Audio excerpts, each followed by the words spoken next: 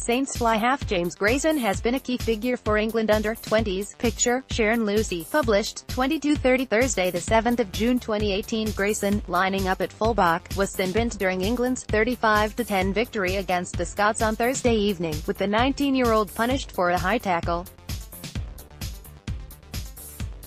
Another Saints player, Scotland forward Devante Eno, was also yellow-carded during the game for the same offence.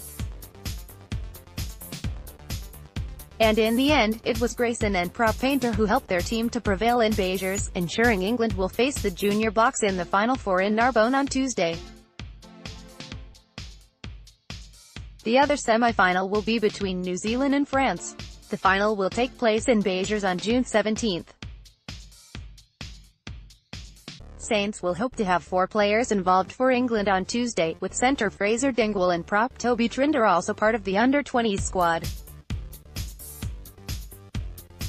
All four youngsters have been involved during the group stages, with England beating Argentina 39-18 and Italy 43-5 prior to the success against Scotland.